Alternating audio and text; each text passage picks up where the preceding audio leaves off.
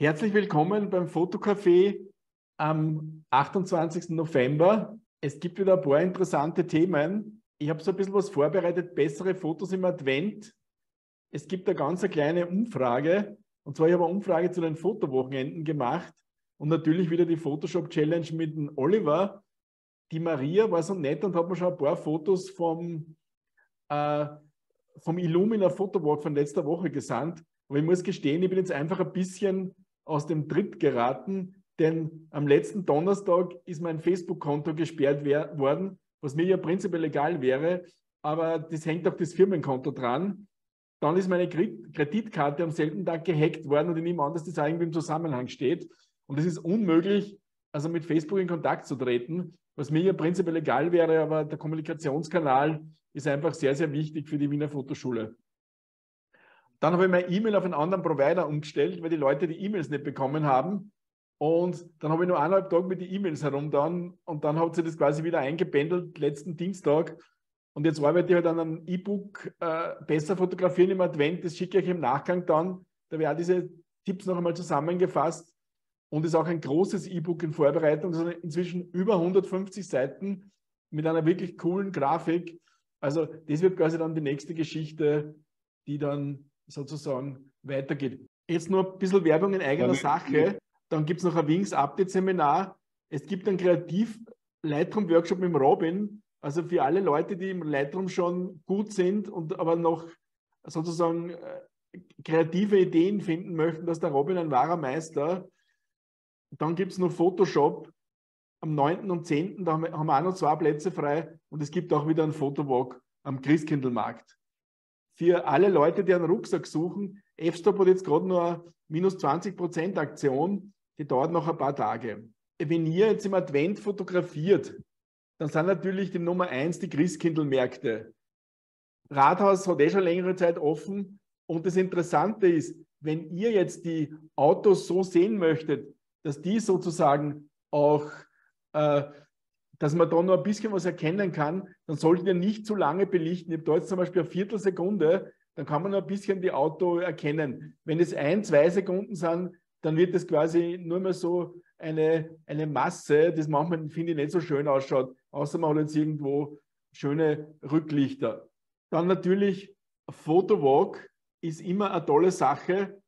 Äh, ihr könnt einfach euch jemanden mitnehmen, das ist zum Beispiel auf der Freiung in Wien entstanden, diese, äh, diese Weihnachtssterne, die beleuchteten, die sind einfach ein, ein Motiv ohne Ende. Also das ist was, was ich euch sehr, sehr empfehlen kann.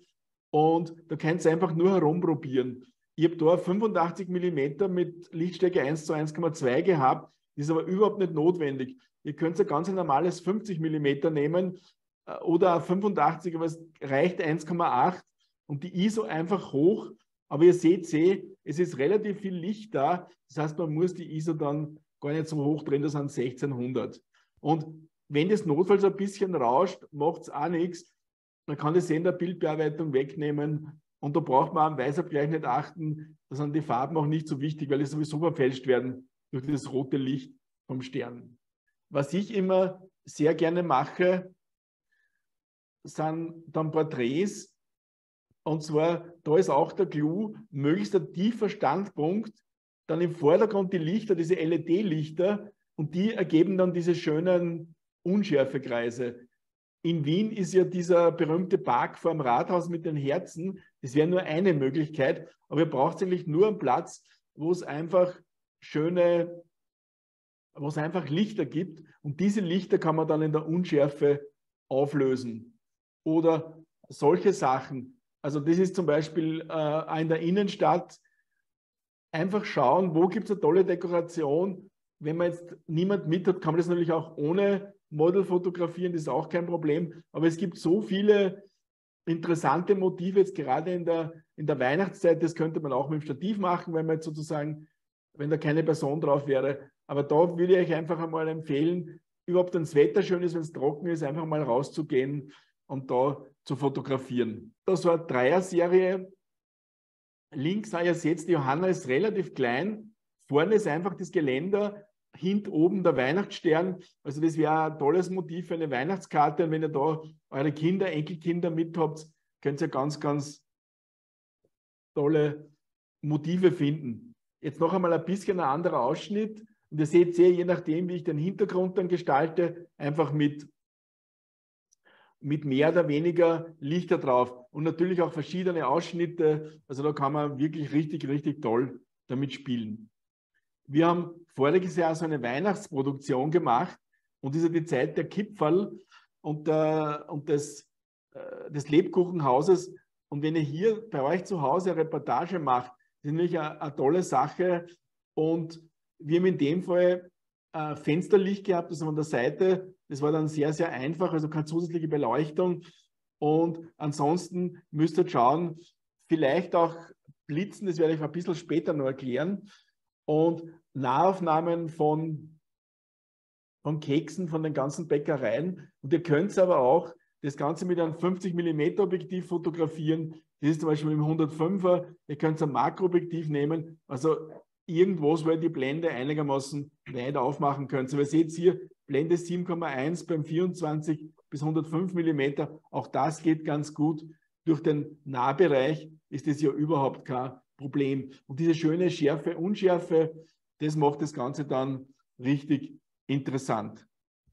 Äh, wenn ihr mal testen möchtet, wie das Bouquet eurer Objektive ist, das ist der Christbaum vor dem Landmann und beim Bild rechts habe ich einfach den Autofokus ausgeschaltet und habe das, äh, das Objektiv komplett auf unscharf manuell gedreht. Und ihr seht hier bei Blende 5 schaut das eigentlich ziemlich cool aus. Da könnt ihr einmal testen, wie das Bouquet des Objektivs ausschaut. Also das ist zum Beispiel auch, finde ich, eine super tolle Möglichkeit. Das wäre auch eine schöne Weihnachtskarte, das einmal ein bisschen zu abstrahieren. Und das geht im Prinzip auch mit jedem Objektiv. Wichtig ist eben nur, dass man dann das Ganze in die Unschärfe bringt und manuell scharf stellen. Man sieht ein Foto machen auf der Systemkamera, sieht man es sogar. Dann hier noch beim festlich gedeckten Tisch, da müsst ihr aufpassen, also wenn ihr hier Kerzenlicht habt und reinblitzt, dann müsst ihr die ISO relativ hoch stellen. Also da habe ich sogar ISO 4000 und vielleicht noch eine gelbe Folie am Blitz drauf. Aber im Blitz wirklich auf minus zwei, also den Blitz ganz, ganz leicht. Also der darf wirklich nur ein bisschen leuchten. Also minus zwei und einfach mal probieren. Das kann man auch äh, den Blitz in den manuellen Modus versetzen. Und dann kann man quasi ein bisschen aufhellen. Man kann aber trotzdem diesen warmen, schönen Farbstich behalten, der dann sozusagen durch das Kerzenlicht entsteht. Das war einmal so viel zu den Weihnachtsbildern und das Fotowochenende Südtirol ist nahezu ausgebucht, also es sind nur mehr zwei Plätze. Es ist wirklich ganz, ganz toll, weil dann findet es einmal sicher statt. Also das war heuer unglaublich. Das erste Fotowochenende, das so voll ist, das ist nur getoppt vom Waldviertel. Waldviertel ist der erste Termin schon ausgebucht und es gibt aber noch einen zweiten, wo genügend Plätze sind. Also wer jetzt schon seine Fotowochenende planen möchte, dann ist es wirklich eine tolle Geschichte, früh genug damit anzufangen. Ich habe also vor einiger Zeit eine Google-Form ausgeschickt und ich habe ein bisschen zur Auswertung der Umfrage, also der Fotowochenende gemacht. Und da war zum Beispiel eine Frage, wie findest du die Länge der Fotowochenende? Da war genau richtig, war sozusagen äh, eh der Großteil. Und zu kurz war eigentlich nur ein wenig, zu lang auch nicht. Und maximal drei bis vier Übernachtungen. Das heißt, dieses System werden wir auf alle Fälle beibehalten. Und wir werden nächstes Jahr eine Fotoakademie machen. Die wird über ein Semester gehen. Jetzt habe ich mich gerade vertan. Also es wird einmal ein Fotowochenende geben, das speziell auf Bildgestaltung abzielt. Das werden wir noch bekannt geben, wird wahrscheinlich die Südsteiermark werden, der zweite Termin. Und da war dann auch der Wunsch, es drei Tage zu machen. Auf das werden wir auch gerne eingehen, denn wir wollen euch natürlich da auch bestens äh, versorgen. Interessant war auch, also die Top-Themen waren Bildgestaltung, Fotografieren von interessanten Plätzen, Landschaft, Gesta Lost Places ist immer auch ganz, ganz äh, gut vertreten. Das heißt, da wissen wir dann auch, was man dann ausschreiben müsste. Und zur Themenfindung, die Naturfotografie hat fast 60 Prozent und Tierfotografie und dann war Architektur auch noch ganz interessant und Kombination verschiedener Genres waren dann 8 Prozent. Dann haben wir mal so, so evaluiert, was wärt ihr bereit für ein Semester zu bezahlen? Das ist so der Durchschnitt auf 700 eingependelt. Und das wird natürlich sehr, sehr umfangreich sein, aber wir werden euch das Konzept dann in den nächsten Fotocafés vorstellen. Es wird eine eigene Linie geben, wo wir bei den Photoshops, äh, bei den Fotoworkshops ein bisschen mehr wandern werden. Das Format wird Wander Plus heißen. Und in dem Fall würden wir Wanderungen mit bis zu drei Stunden und circa 500 Höhenmeter absolvieren. Und da waren eigentlich äh, fast 60 Prozent, finde ich gut. Und 25 haben gesagt, äh, nichts für mich. Wesentlich beim richtigen Licht am richtigen Ort. Und die Idee wäre zum Beispiel, äh, am Zuppelsee zu übernachten in Osttirol, dort Sterne zu fotografieren. Also das wäre dann so schon die Intention. Und die, all die anderen, also es wird wahrscheinlich zwei Wanderfotowochenende geben, 2023, und all die anderen werden eh in altbewährter Weise durchgeführt, wo man halt auch wandern, aber nicht so anstrengend und kürzer. Äh, jetzt kommen wir zum Fotowalk Illumina im Schloss Laxenburg. Also wenn ihr jetzt noch Zeit habt, solltet ihr unbedingt dort einmal hinschauen. Laxenburg ist, glaube ich, noch bis 29. Jänner und es ist eine irre Lichtinstallation. Es beginnt jeden Tag um 16.30 Uhr und hier ist auch das Schloss beleuchtet. Äh, es sind einfach Unmengen an Fotomotiven und es ist bis 22 Uhr offen und das braucht man auch, um hier alles anzusehen. Man sieht anhand der langen Belichtungszeit, die hier gewählt wurde, äh, sieht man auch ganz gut äh, auf der rechten Seite diese Unschärfe.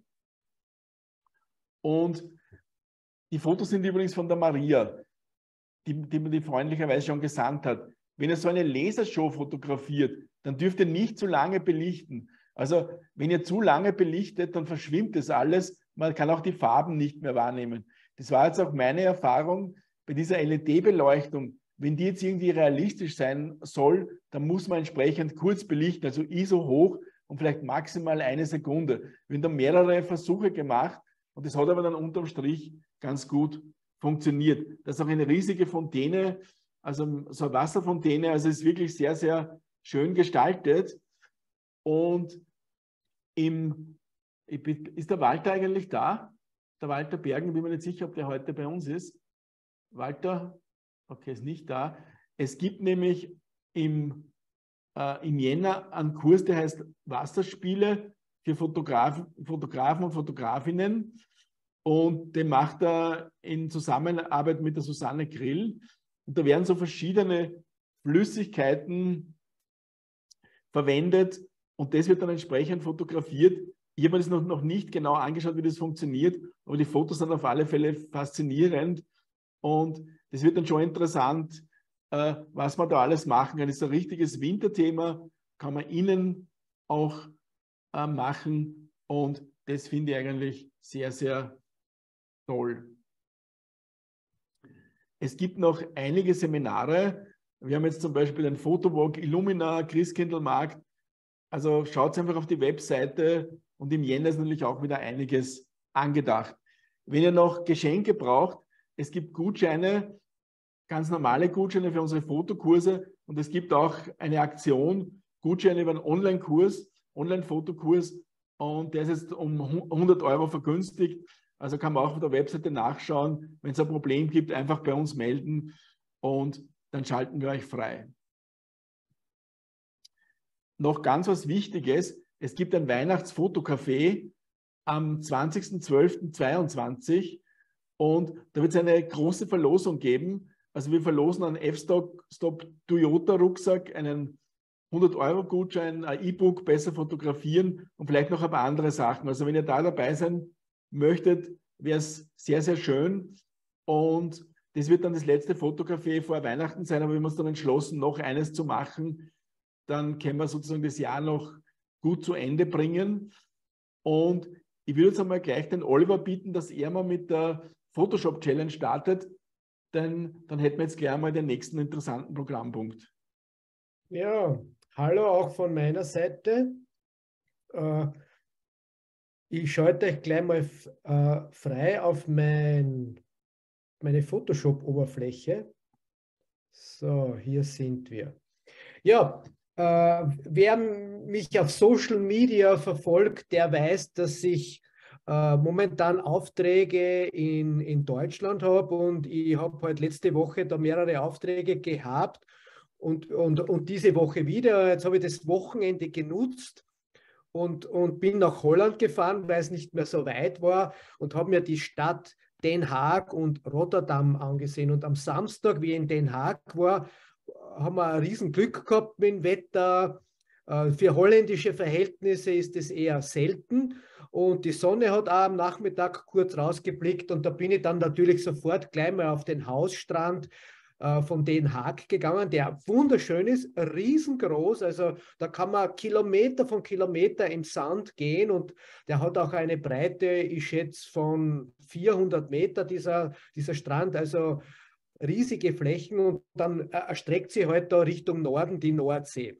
Und weil der Wind äh, gegangen ist, waren auch Wellen und dann waren halt da so junge Burschen aus Den Haag da, die dort dann äh, Wellen geritten sind und ich habe leider kein Teleobjektiv mitgehabt. Äh, meine längste Brennweite war das 85 mm Objektiv und das ist halt genau dieses Foto geworden.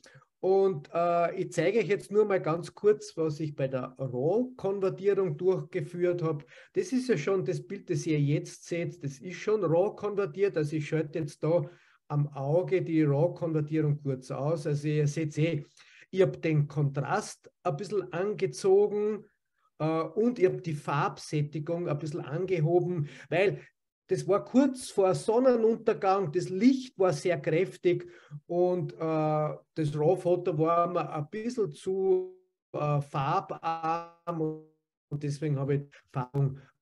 Und jetzt stört mich halt da bei diesem Bild dieser Mast. Also dort waren halt gerade die besten Wellen und damit das Ganze jetzt so ein bisschen ausschaut, wie wenn das irgendwo in der Südsee ist oder alles frei ist, ist jetzt mein Ziel, äh, diesen Masten wegzuretuschieren. Ich zoome mich mal da ein bisschen ran.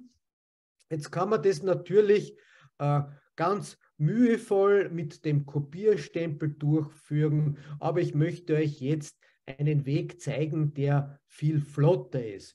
Uh, um das durchzuführen, muss ich jetzt einmal mir eine Pixel-Ebene anlegen, weil hier habe ich bis jetzt nur zwei Smart-Objekte. Ein Smart-Objekt, das ist ein Container, den kann man sich in Photoshop anlegen und in diesem Container liegt meine RAW-Datei, damit ich immer, wenn ich jetzt Änderungen durchführe, auf diese 14-Bit Farbtiefe der RAW-Datei zugreifen kann und das direkt aus Photoshop. Ja, RAW-Konvertierung ist abgeschlossen und jetzt kommt meine Vorbereitung. Das heißt, ich lege mir jetzt da eine Pixel-Ebene an mit der Summe von diesen beiden Ebenen. Also die untere Ebene zeigt ja nur das Originalbild und darüber liegt halt die RAW-Konvertierung. Und dieser Befehl lautet Shift Alt, Steuerung E und im Prinzip legt er, man kopiert er da einfach das gleiche Bild noch einmal nach oben, aber jetzt auf einer Pixel-Ebene. Also äh, wenn ich das jetzt ein ausschalte, ihr seht, es passiert gar nichts, weil es exakt dieselben Daten sind. Gut, jetzt markiere ich mir oder wähle mir mal da diese äh, Wassermarkierung aus. Ich habe da mein Auswahlwerkzeug gewählt, Weiche Kante stelle ich da bei den Optionen auf 0. Und jetzt fange ich mal an, schön knapp hier diese Wassermarkierung auszuwählen. Ja, wenn ich jetzt da wieder an den Start komme, irgendwann verändert sich der Mauszeiger mit seinem Ring und die Auswahl ist getroffen. Ja, und jetzt brauche ich nur noch eines tun, Menü bearbeiten, Fläche füllen. Mit Fläche füllen, da kann ich halt eine Fläche schwarz, grau, weiß oder ich kann sogar eine Farbe wählen und sagen, bitte füll mir da jetzt das Ganze. Aber ich wähle da jetzt inhaltsbasiert aus. Was bedeutet das, wenn ich da jetzt inhaltsbasiert auswähle? Photoshop schaut jetzt außerhalb von dieser Auswahl, schaut, was da hier zu finden ist am Pixel und füllt mir das innerhalb der Auswahl an.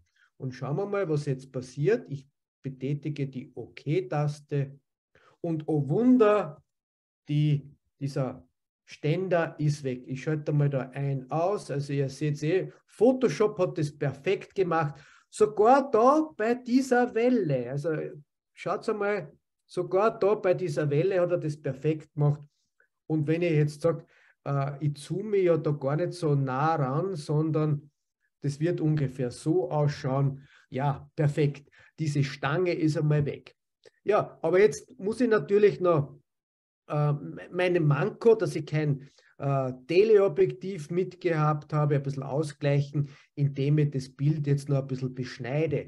Und mein großer Vorteil in dem Fall ist halt, also ich habe die Canon R5, die hat einen Sensor mit einer Auflösung von 45 Megapixel und da kann ich dieses Bild, ich mache es jetzt Hochformat 4 zu 5, kann ich dieses Bild so richtig wunderbar eng beschneiden. Es bleibt noch immer genug Auflösung über. Also ihr seht jetzt eh, wie viel ich da jetzt wegschneide.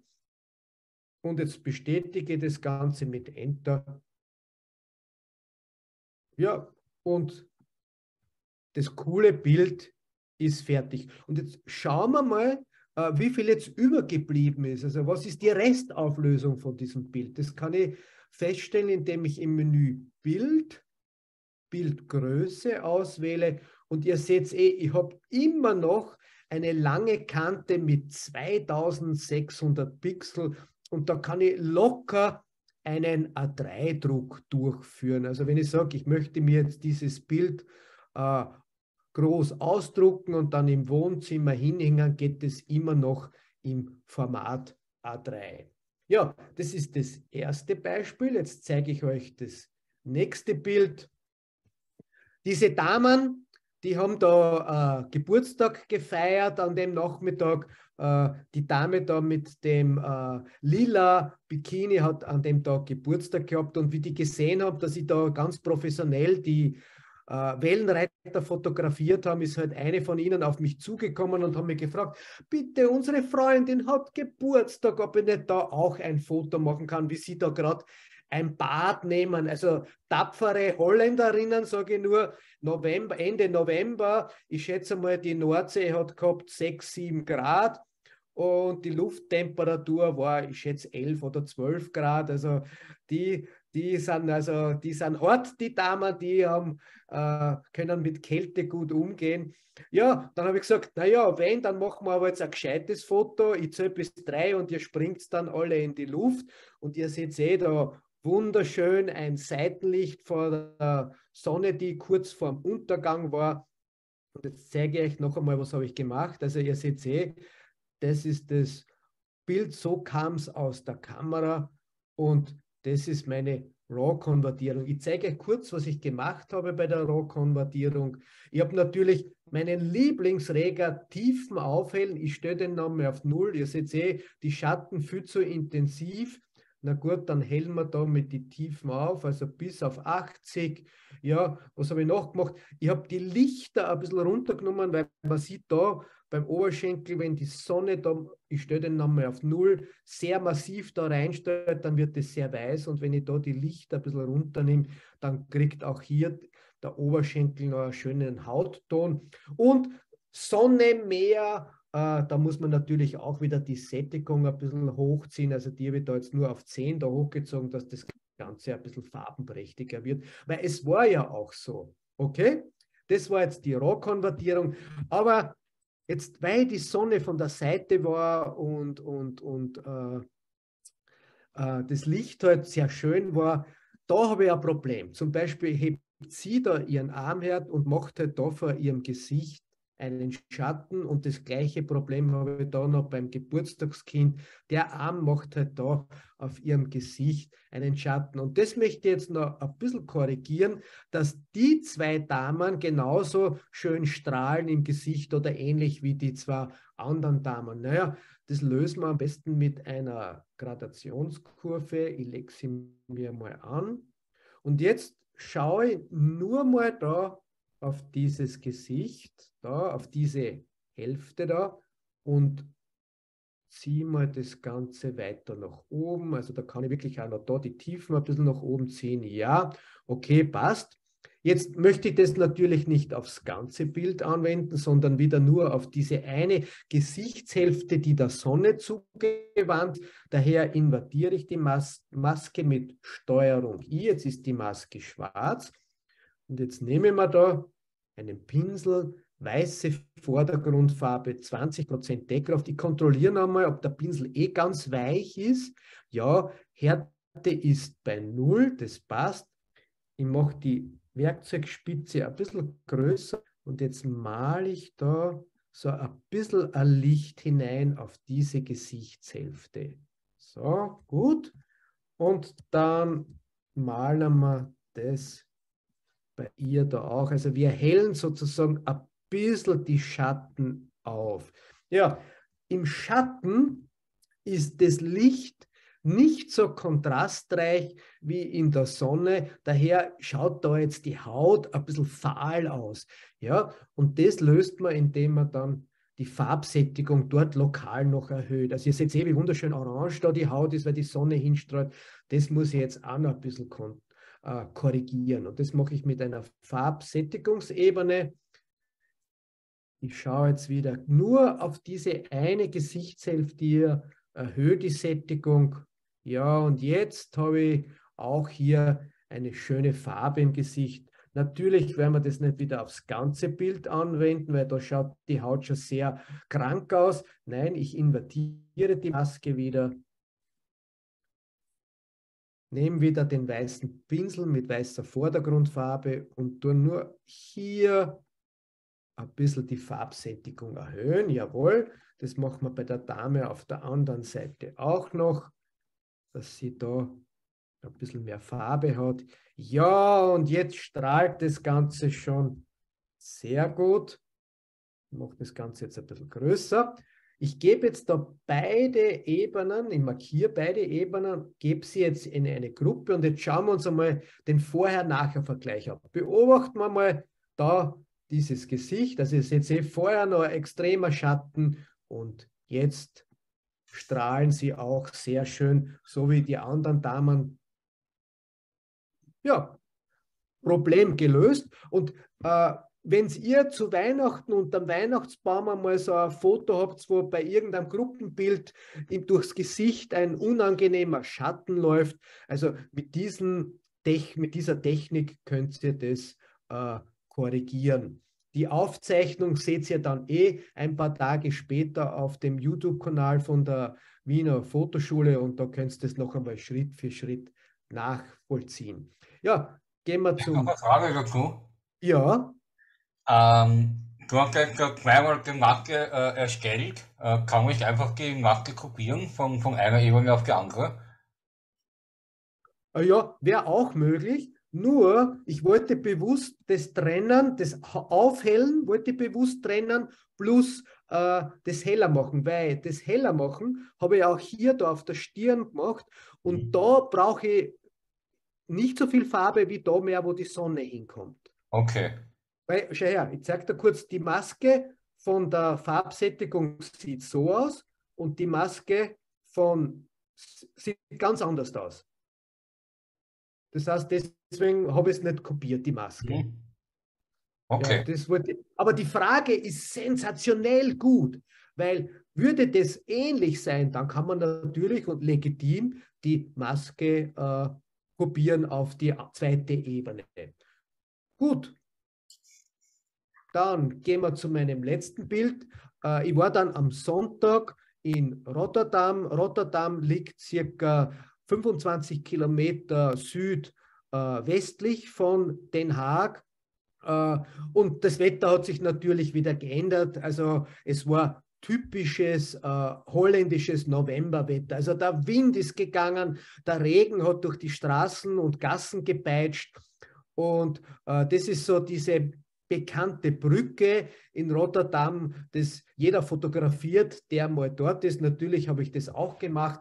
Und ich, mir hat das nicht gestört, weil ich habe äh, meine Regenbekleidung angehabt, drunter noch eine warme Daunenjacke, Handschuhe und Haube und bin da mit Kapuze durch die verregnete Stadt marschiert. Und ich muss sagen, ja, ich habe das auch recht lustig gefunden, weil es waren die, die wieder die die knallharten äh, Holländer unterwegs. Also die fahren da mit dem Fahrrad, haben nicht einmal eine Kopfbedeckung auf, es hat knapp über 0 Grad, es regnet.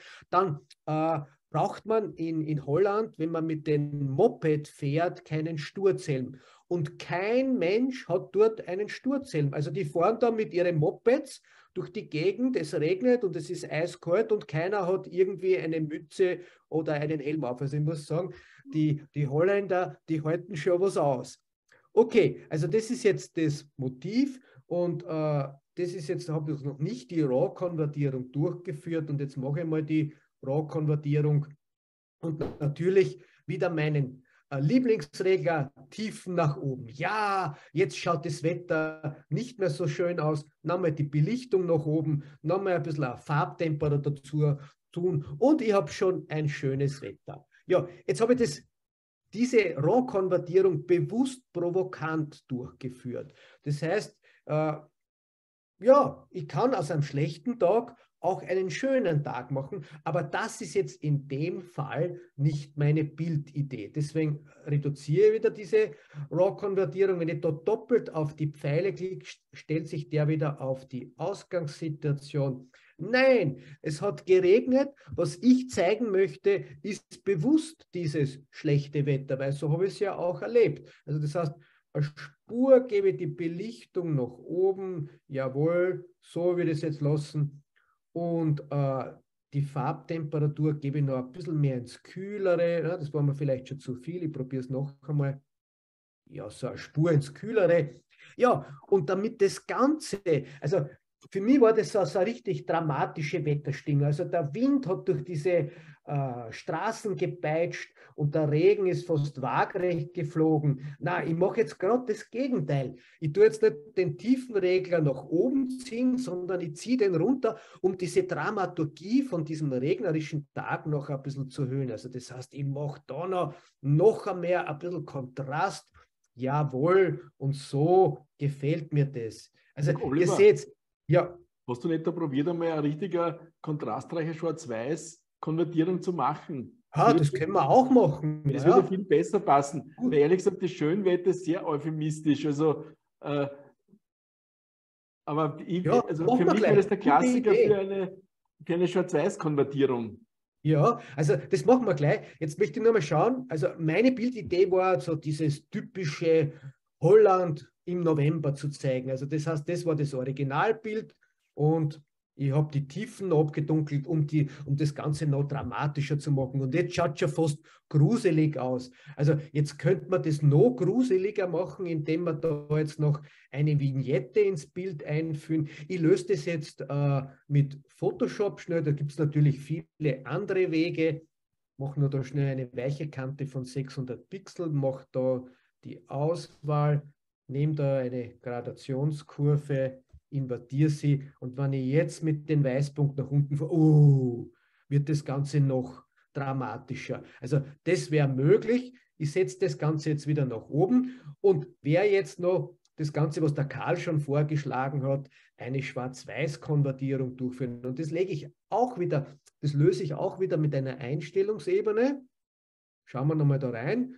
Da steht sie schon schwarz-weiß, also der Name ist Programm und ich lege sie an und habe dann eine Schwarz-Weiß-Konvertierung. Und das Tolle jetzt an dieser Einstellungsebene ist, ich kann jetzt noch, obwohl das Bild jetzt in Schwarz-Weiß ist, die einzelnen Farbkanäle, die haben wir jetzt hier, in der Helligkeit steuern. Schauen wir mal, was passiert, wenn ich den Rotkanal bewege ja, da tut sie gar nichts, weil es ist nicht für rot in dem Bild. Aber schauen wir mal, was passiert, wenn ich den Blaukanal, weil da ist ja viel Blau. Uh, also das heißt, wir können jetzt zum Beispiel den Blaukanal aufhören, so ein richtig schönes Architekturbild machen. Grün, haben wir grün? Nein, grün haben wir auch nicht. Und schauen wir mal, ob wir Magenta haben. Magenta haben wir auch nicht. Also ich, ich, ich sehe, ich gehe das jetzt nochmal auf Null und so. Oliver, ja. du machst ja immer, das man schon oft zeigt, diese Kontrastverstärkung mit der Gradationskurve oder überhaupt mhm. Steuerung, gerade bei Schwarz-Weiß. Da, da ja, können wir auch noch machen. Ja, also sehr guter Punkt. äh, ich lege sie mal an, die Gradationskurve. Ich kann natürlich, schaut her, in Lightroom, in, in, in, im RAW-Konverter oder halt da als Einstellungsebene gibt es ja die ganz simple Lösung, dass ich sage, da steht jetzt Kontrast und wenn ich da jetzt den Kontrast nach oben ziehe, erhöht sich das. Also alles, was heller ist, wird heller und alles, was dunkler ist, wird dunkler. Nur, ich habe da bei dem Regler und genauso wie in Lightroom oder im RAW-Converter von Photoshop nicht die Kontrolle, weil ich, ich, ich, kann jetzt nicht da, ich muss das übernehmen, was Photoshop mir anbietet. Und das möchte ich vermeiden und darum wähle ich, mache ich das Ganze, die Kontraststeigerung mit der Gradationskurve. Und ihr ja, Oliver, seht, ich verwende ja, zum Beispiel den Kontrastregler überhaupt nicht im Lightroom, weil man den so schwer kontrollieren kann. Man weiß genau. nicht, also man weiß nicht, was im Hintergrund passiert. Genau. Und daher nimmt man da die Gradationskurve, weil mit der Gradationskurve habe ich jetzt drei Möglichkeiten, das Ganze zu steuern. Also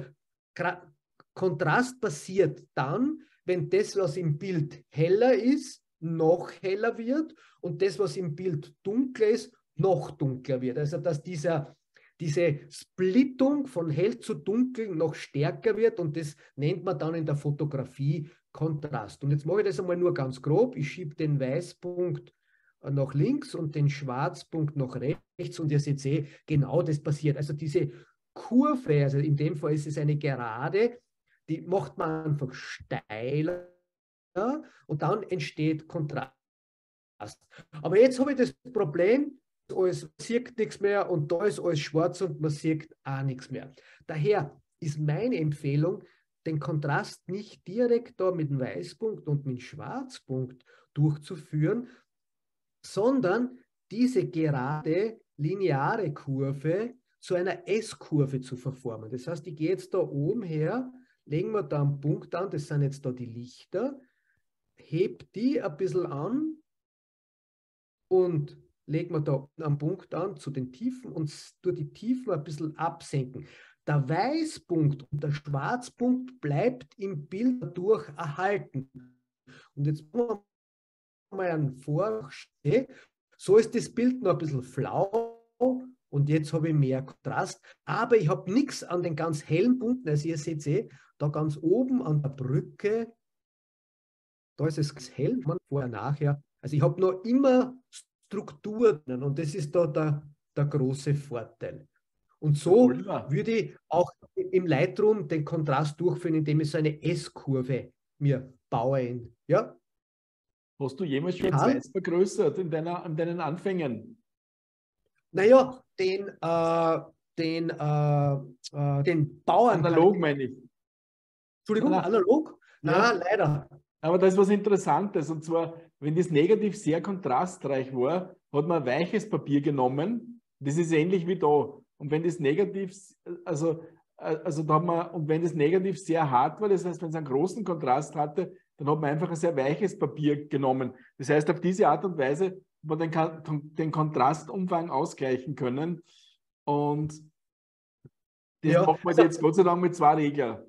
Ja, also die analoge Dunkelkammer, die habe ich leider nie erlebt. Also ich habe diesen Prozess nie selber gemacht.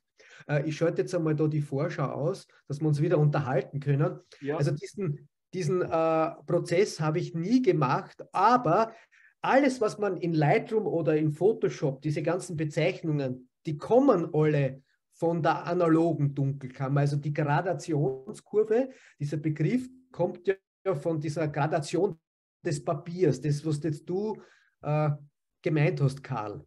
Du, Oliver, ja. Ich also, wollte wollt jetzt, bist du jetzt fertig mit der Photoshop Challenge? Ja, also ich kann noch mal kurz auf dieses nein, finale Bild schauen. Achso, ja, weil ich wollte nämlich dann was anderes mit dir noch diskutieren. Wenn's ja, also die Photoshop Challenge ist beendet. Also danke für den Tipp, Karl, mit dem Schwarz-Weiß. Das hätte ich jetzt äh, nicht gemacht mehr, aber sie, so lebt das Fotocafé, in dem wir uns heute gemeinsam austauschen. Okay, ja. Oliver, jetzt so. hätte ich ganz ein heißes Thema. Und zwar Fotografie oh unter dem Christbaum. Mhm. Äh, weil ich, also das Problem ist immer, dass dann reingeblitzt wird, dass dann natürlich die ganze Atmosphäre zerstört wird. Und mein Ansatz wäre, möglichst hohe ISO auf den Weißabgleich einfach aufpassen. Also wenn, wenn ihr RAW macht, ist ja nicht so tragisch, dann könnt ihr den im Nachhinein eh ziehen. Aber bei JPEG muss ich natürlich genau aufpassen, dass es nicht zu warm, nicht zu gelbstichig wird. Was wäre da dein Tipp, Oliver? Ja, also mein Tipp wäre, wenn Sie jetzt zu Weihnachten bewusst fotografieren wollt, also nicht irgendwie das, das klassische Familienbild, dass ihr, wo sie die Familie aufstellt und alles, sondern so diese Szenenbilder, wenn die Geschenke vom Weihnachtsbaum ausgepackt werden und diese goldige Stimmung da ist im Raum, weil die Kerzen brennen.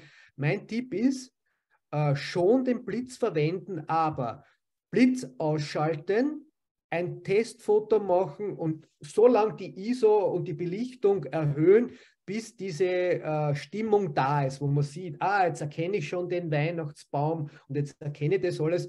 Und dann ganz dezent und nur einen leichten Blitz dann äh, manuell, also nicht auf der Kamera Automatik, sondern manuell. Also ich schalte alle Automatikfunktionen am Blitz aus und sage ganz zart hineinblitzen, dass die Gesichter vielleicht. Der 32. oder sowas. Ja, ganz genau. Also das müsste man. Und mein Tipp ist noch was. Probiert das am Vortag aus, diese Einstellungen. Weil am Weihnachtstag könnt ihr nicht herumprobieren, da müsst ihr euch auf die Feier konzentrieren und auf die Motive, die dann entstehen. Äh, und äh, kleiner Schwank noch am Rande. Also bei mir zu Hause, das Familienfest schaut immer so aus. Meine Schwester, die hat eine alte Spiegelreflexkamera, das ist die Canon 60D, die hat sie schon seit zehn Jahren. Dann äh, hat der, war, war das die erste Kamera, die einen verbauten Blitz gehabt hat. Und die fotografiert an dem Abend, macht wunderschöne Fotos im Vollautomatikmodus. Und ich habe meine GoPro äh, und ich mache dann halt so ganz dezent Videos dazu, weil die kann ich so versteckt in der Hand halten. Und das sind unsere familiären Images. Also es gibt dann einen Film und an äh, äh, Fotos. Ich tue dann nach diesen zwei Tagen von meiner Schwester die Speicherkarte schnell auf meinen Rechner kopieren und immer wenn dann ein Geburtstag ansteht, dann ist ein wichtiges Geschenk immer dem Familienmitglied die Filme und die Fotos vom letzten Weihnachtsfest zu übermitteln. Und die kriegen dann von mir, das ist schon Standard bei mir, immer einen Datenstick übermittelt. Also meine Mutter hat dann im Februar Geburtstag, die kriegt es als erstes. Und alle Familienmitglieder sind dann immer ganz erfreut, wenn es dann, weil jeder hat das schon vergessen. Ah, wir haben ja so viele Weihnachten. Weil meine Schwester, zum Beispiel, die hat auf ihrer Speicherkarte 10.000 Fotos. Die kopiert die nicht auf dem Rechner. Die löscht die nie, also sozusagen. Ja, die löscht die nie, kopiert sie nicht auf dem Rechner und ich hole mir die dann immer äh, von der Karte runter, damit ich sage, wenigstens habe ich die gesichert, die Weihnachtsbilder. Also, das ist wirklich jetzt eine spannende Geschichte mit der Vollautomatik. Also, das ja. ist die grüne Punktautomatik. Äh, aber wenn man, wenn man zum Beispiel so ein bisschen seriöser das probieren möchte, dann wäre es im, also beim Blitzen muss man entweder manueller Modus AV oder TV. Aber unter dem Weihnachtsbaum wäre meiner Meinung nach tatsächlich der manuelle Modus der gescheiteste. Das heißt, man nimmt da 125. Äh, dann stellt man Blende 5,6 ein und dann, wie der Oliver gesagt hat, schaut man, dass die ISO entsprechend hoch sind, dass man mal ohne Blitz ein richtig belichtetes Foto hat. Und dann kann man über die ISO den Hintergrund steuern. Der wird dann heller oder dunkler. Wenn aber die ISO zu hoch sind, dann wird das Foto eher gelblich. Das heißt, dann, dann überwiegt das Kunstlicht, also das Kerzenlicht, da muss man aufpassen. Und, und, und Oliver, ich glaube, du verwendest da ganz gern so orangene Folie auf dem Blitz, gell? Das, damit es ein bisschen wärmer wird. Ja, also das könnte natürlich meiner Schwester drauf montieren, aber. Äh, Nein, aber ich glaube, der eingebaute Blitz hat sowieso das Problem, dass er jetzt sehr hart ist das am gescheiter mal lassen, so wie er ist, oder? Ja, du, also es geht, es geht da nicht um das perfekte Foto. Nein, das ist mir eh vollkommen klar. es geht um die Stimmung, es geht um die Familie. Nein, nein, das ist mir alles vollkommen klar. Ja. Äh, vielleicht, wenn noch jemand ein Video machen möchte, weil jetzt zum Beispiel die Kinder Flöten spielen oder singen, also ich, dann würde man irgendwo ein Stativ organisieren. Und wir haben jetzt bei uns so Testaufnahmen mit der R6 gemacht, aber das geht genauso mit vielen anderen Kameras. Und wir waren erstaunt, wie gut das eingebaute Mikrofon funktioniert, wenn jetzt keine Nebengeräusche im Raum sind. Also wenn man da mal ein Lied aufnehmen möchte, geht es sogar ohne, ohne Probleme, ohne Mikrofon. Und man kann natürlich auch im Automatikmodus dann einfach filmen. Und das wird dann auch ziemlich gut. Also denkt einmal an das ein bisschen, dass man auch filmen kann. Also viele Fotografen haben panische Angst. Erstens vor den hohen ISO, die glauben, die Kamera explodiert, wenn man Höhe 400 schaltet. Und das zweite ist, sie glauben, dass die Kamera explodiert, wenn man einen Videoknopf drückt. Also beides ist nicht richtig. Äh, ich habe jetzt noch einen Lightroom-Tipp für euch. Und zwar, ich werde jetzt einmal kurz meinen Bildschirm freigeben.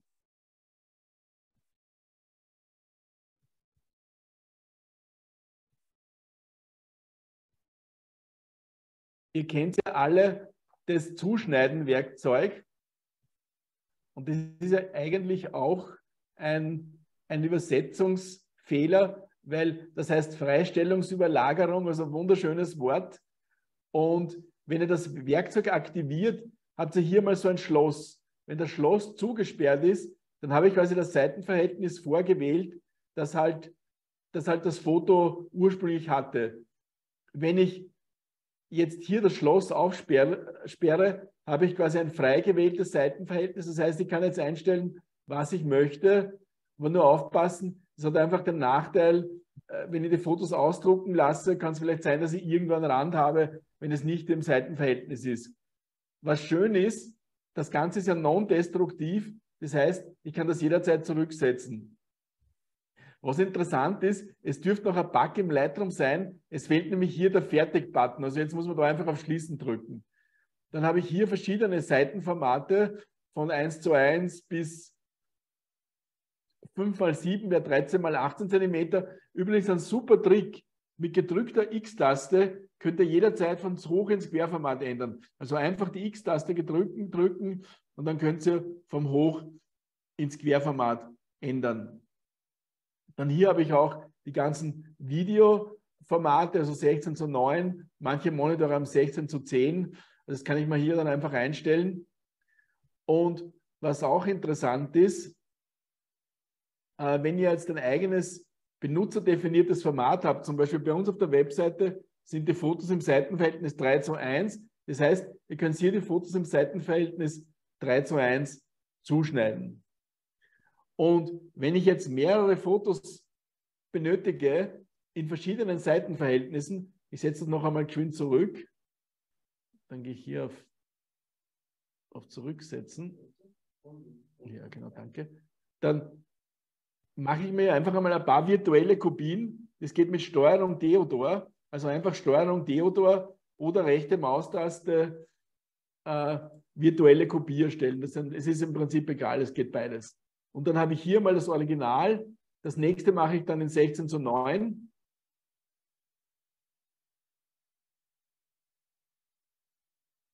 Dann mache ich mal eins zum Beispiel in 3,5 zu 1.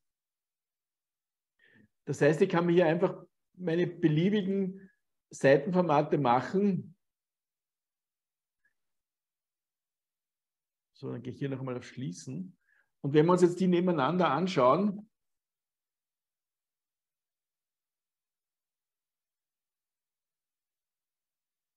ich gehe mal hier auf die Übersicht, dann sieht man eben diese verschiedenen Seitenformate und ich muss das nicht immer zurücksetzen. Das ist einfach der Vorteil von der Geschichte. Jetzt werde ich mal hier noch einmal das Bild zurücksetzen und jetzt zeige ich euch einen, finde ich, sehr guten Trick. Mit der O-Taste für Overlay kann ich hier verschiedene, ich habe hier zum Beispiel die Drittelregel, einfach einen Raster, dann ein anderes, eine andere Methode der Bildgestaltung. Ich habe hier quasi das Ganze geviertelt, dann habe ich goldener Schnitt, ich habe die Fibonacci-Spirale und das sind hier so Druckformate. Das heißt, mit gedrückter O-Taste kann ich hier diese Formate einfach durchdrücken, durchwählen und kann man dann die, das sozusagen aussuchen, was mir am besten gefällt. Ich gehe jetzt noch mal kurz auf Schließen und muss noch einmal schnell ein anderes Foto auf, aufrufen. Gehe mal in die Bibliothek, das Entwickeln-Modul. Jetzt brauche ich da so ein richtiges schiefes Foto. Das findet man natürlich nicht, wenn man es auf die Schnelle braucht. Das habe ich da unten irgendwo. Schauen wir mal. Okay. Wo ist das? Ah, das ist das zum Beispiel.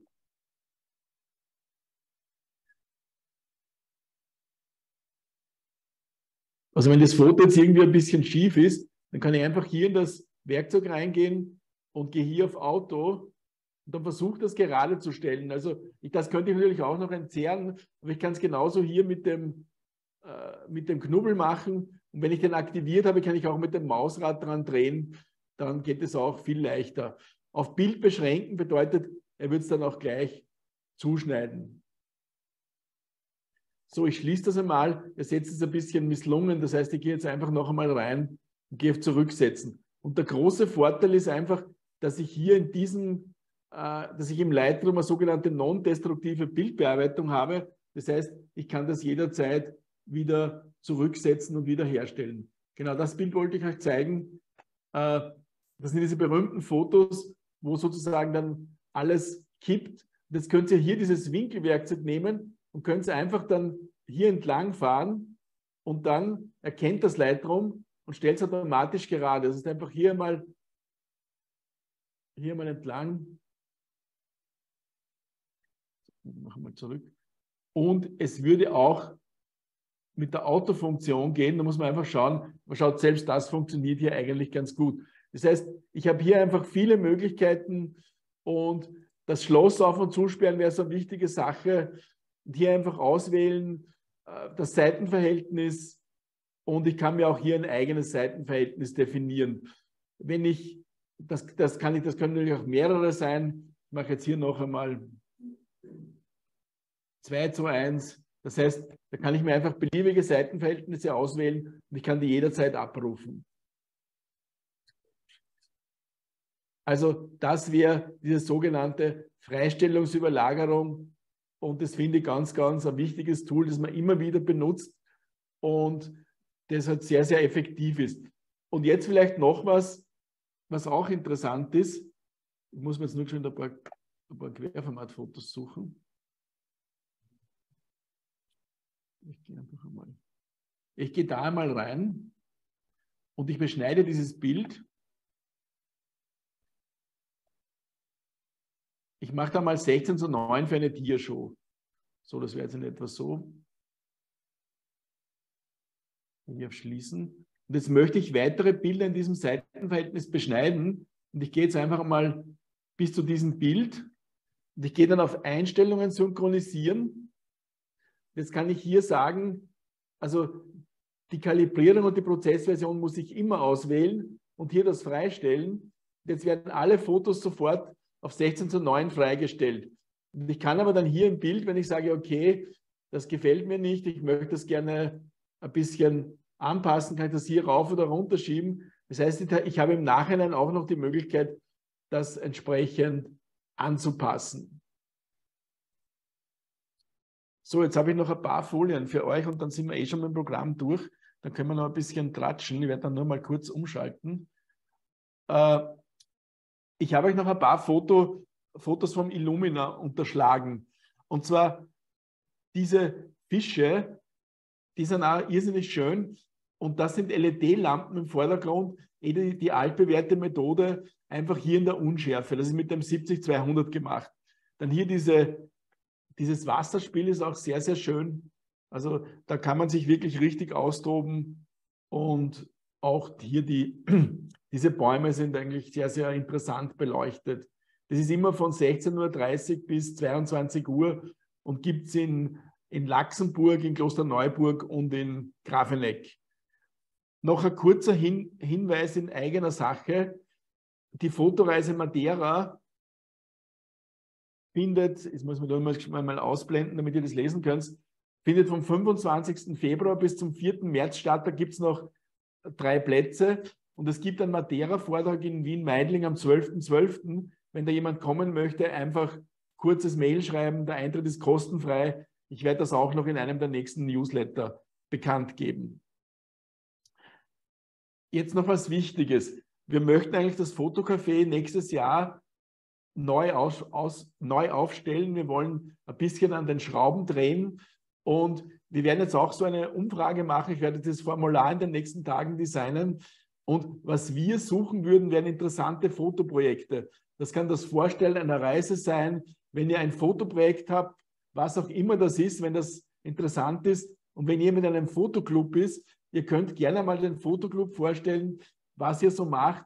Also sind wir sehr, sehr offen und wir würden euch noch gerne viel, viel mehr mit einbeziehen, weil dann, dann lebt das Fotocafé einfach noch, noch mehr. Und das soll ja auch ein, ein Community-Event sein. Und äh, wie gesagt, diese Bildbesprechung haben wir natürlich auch beibehalten. Das ist heute ein bisschen der Zeit zum Opfer gefallen, weil die letzten zwei Kurse erst jetzt vor, also vor ein paar Tagen waren. Für die, für die nächste Sendung zu Weihnachten machen wir eine kleine Challenge. Und zwar schickt uns, schickt uns ein Motiv oder maximal zwei Motive mit einem Thema Christkindlmarkt, Weihnachten, also alles, was heute in meiner Präsentation vorgekommen ist. Ich werde dann auch eine Dropbox erstellen und schicke dann an alle, die heute im, äh, mit dabei waren, auch noch einen Link. Und ihr bekommt auch noch dieses E-Book, das ist gerade in der Endproduktion äh, vom, äh, von, von der Weihnachtsfotografie. Bei uns tut sich sehr, sehr viel. Ich habe jetzt einen ganz einen interessanten Kontakt zum Bezirksmuseum und ich würde Ihnen vorschlagen, dass wir nächstes Jahr ein gemeinsames Fotoprojekt machen über den 15. Bezirk und dass wir dann auch eine Gemeinschaftsausstellung machen. Das heißt, also ich bin jetzt gerade an der Suche von einigen Locations für Ausstellungen. Ich werde im Jänner meine analogen Syrienbilder hier in der Nähe ausstellen, in einer kleinen Weinbar, aber da wird sie auch noch früh genug zur Vernissage eingeladen. Das sind also relativ große Schwarz-Weiß-Prints, die von Negativen kommen.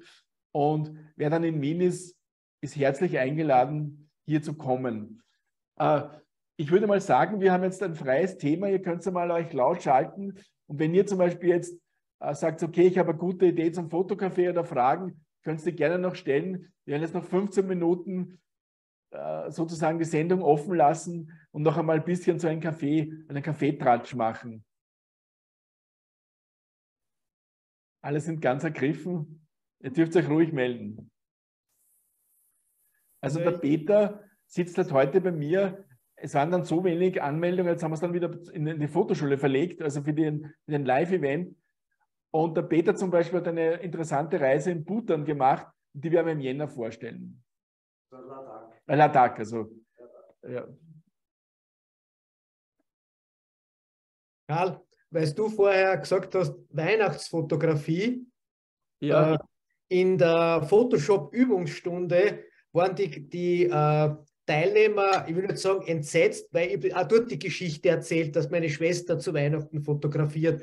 Und dann haben sie gesagt, na, dann gibt es ja gar keine professionellen Weihnachtsbilder, weil, weil du, du nicht fotografierst. Habe ich gesagt, oh ja, es gibt jedes Jahr ein voll professionelles Weihnachtsbild von meiner Familie und das überlege ich mir. Und ich, ich schalte euch jetzt kurz meinen Bildschirm frei. Ich stelle dann da immer meine Familie auf baue drei Blitze auf und es gibt dann da immer ein, ein hochprofessionelles Weihnachtsbild. Mein Neffe, der ist da, der spielt bei Rapid Fußball und deswegen ist unser Weihnachtsfest bis dann zum großen Fressen losgeht, also immer sehr sportlich. Also da wird gesportelt äh, am, am, am Heiligen Abend und wenn es dann finster wird, dann gehen wir zum Abendessen. Und das ist jetzt nur das Making-of. Also da seht ihr den einen Blitz, die anderen zwei habe ich hinten. Und ich zeige euch jetzt das finale Weihnachtsbild. Das hat dann so ausgesehen. Und das kriegt natürlich auch immer schön ausgedruckt, äh, Stück für Stück die einzelnen Familienmitglieder. Und für heuer haben wir auch schon wieder was Kreatives überlegt. Du, Oliver, nimm ein bisschen eine Deko, weil das schaut aus irgendwie äh, äh, ein super cooles Foto. Es hat eher schon nach November-Stimmung aus, was gerade geregnet hat. Also, äh, ja, meine Familie, die lebt in Burgenland, da gibt es keinen Schnee. Aber das ist so ja, immer dann lass doch irgendjemanden einen Plastik-Weihnachtsbaum halten, dann weiß man, wo es hinkommt. Ja, aber danke für den Tipp, das werde ich umsetzen. Super, ja, das merke ich mir. Danke für den Tipp, ja. Die gibt es schon ganz toll mit, mit Kugelschmuck und ohne. Nein, wir sind, der so, der so leuchtet. Ja, das ist mit so LED-Blinklichter. Ja. Elke Honemann kann er das dann mit Leuchtspuren machen. Also genau, die Elke kann das, kann das mit Leuchtspuren machen. Ja, da brauche ich dann noch zwei Assistenten, die drinnen. Ja. Apropos, es gibt dann im, im Jänner auch noch einen Illumina-Fotokurs mit Lichtmalerei. Es ist ja leider nicht mehr ausgegangen, um es heute online zu stellen, aber das werden wir auch im Newsletter kommunizieren. in den nächsten Tagen, also da gibt es auch noch ganz, ganz was Spezielles. Die Elke hat sich schon wieder einiges einfallen lassen. Gibt es einmal von eurer Seite Fragen, Wünsche, Anregungen? Mich würde interessieren, was der Kurt zu seiner neuen R7 sagt. Schalt den Ton ein, Kurt. ja, ich, ich, ich danke, Oliver. Ich, ich gestehe, ich bin noch nicht sehr oft zum, zum Testen und zum Ausprobieren gekommen. Also ich habe jetzt erst am vergangenen Wochenende ein paar Fotos gemacht. Äh, ja, sie taugt mir sehr. Also sie ist sehr handlich und, und, und klein und so groß ist die Umstellung jetzt von der R5 auch nicht oder ich mache, ich nehme ja beide gemeinsam. Ähm, ich bin jetzt gerade, war jetzt gerade dabei, dieses Kit-Objektiv zu testen. Da traue ich mir jetzt aber noch keine Aussage zu treffen, weil ich mir die Foto erst, Fotos erst am Rechner anschauen muss. Das ist 8 bis 150, oder? Ja, genau, genau. Das ist erstaunlich ja. gut. Also das ist wirklich erstaunlich gut. Ich habe das schon getestet. Mhm. Ja, gut, aber man muss ansagen, äh, das ist gut. Ich habe mir ja die R7 jetzt als Zweitkamera zur R5 genommen. Und die zwei Kameras sind wirklich genial im Zusammenspiel für mhm. unterschiedliche Motive. Also äh, Tierfotografie und so, äh, durch den Crop-Faktor ist es natürlich mit, mit den diversen Objektive ideal. Ne?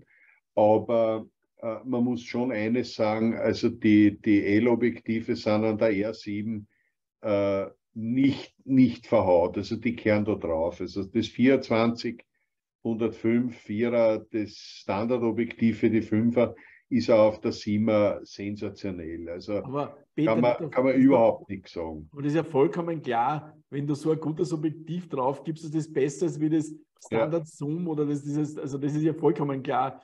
Also es, wenn ich also, jetzt ein gutes Objektiv auf der Kamera gebe, wird sie immer besser. Also das ist überhaupt klar. Also ich bin, ich bin mit dem, mit dem 70-200, 2.8er äh, bin im Garten in der, in der Nacht um und umgegangen, habe fotografiert, also sensationelle Ergebnisse mit der R7, äh, die auch ein paar so Schmankerl hat, zum Beispiel der Weißabgleich.